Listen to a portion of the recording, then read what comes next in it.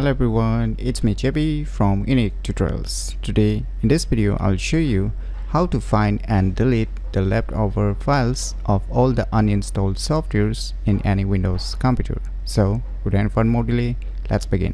So firstly just open any web browser and in the Google search just search for one application name as IOBit uninstaller and the first list you will see its official website just click on it now just click on this free download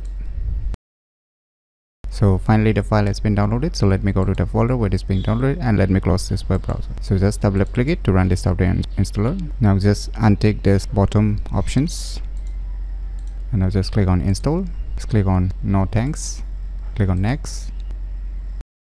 Now just click on no thanks and click on finish. So finally you can see there's the interface of this software. So i'm not gonna discuss all the options that this software gonna provide. So here you can see here one option written software health right? Just click on it.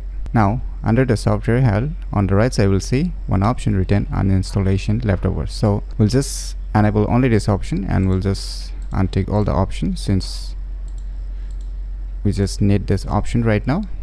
You can select all the options if you want but for this video tutorial we are gonna select only this options.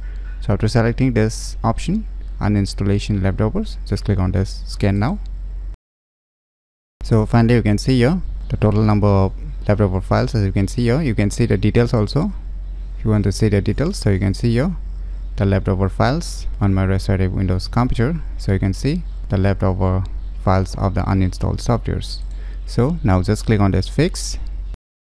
Now it has deleted all the uninstalled software leftover files. So you can see here. So click on done and let us scan again so finally you can see there are no any more uninstalled software leftover files. So by using this software you can easily find and delete the leftover files of all the uninstalled softwares in any windows computer very easily. So if you never known about this cool application then you should definitely give it a try. So if you find this video tutorial useful please click on the thumbs like button. And if you're new to our channel click on the subscribe button. And lastly thanks for watching